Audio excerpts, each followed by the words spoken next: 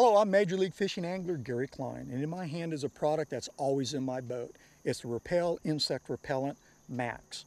Here we are in Wisconsin filming Major League Fishing. Wisconsin has a reputation for a lot of things. One of those things, big mosquitoes. That's why I have the Repel Insect Repellent in my boat. Simply spray a little on, and I have no worries. Fish bug-free all day long. If you're an outdoorsman, whether you're a hiker, camper, fisherman, or hunter, definitely don't leave home without Repel Insect Repellent. It'll give you a better outdoor experience.